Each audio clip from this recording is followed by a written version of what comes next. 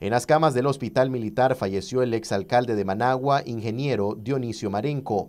Murió a los 73 años de edad.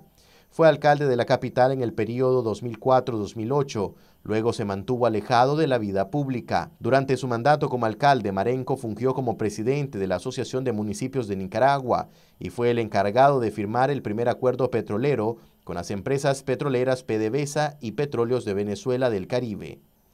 Fue amigo cercano de Daniel Ortega por más de 40 años. Estudió ingeniería civil en la Universidad Centroamericana, donde participó en las luchas políticas antisomocistas. Fue destacado político y trabajó como ingeniero diseñador.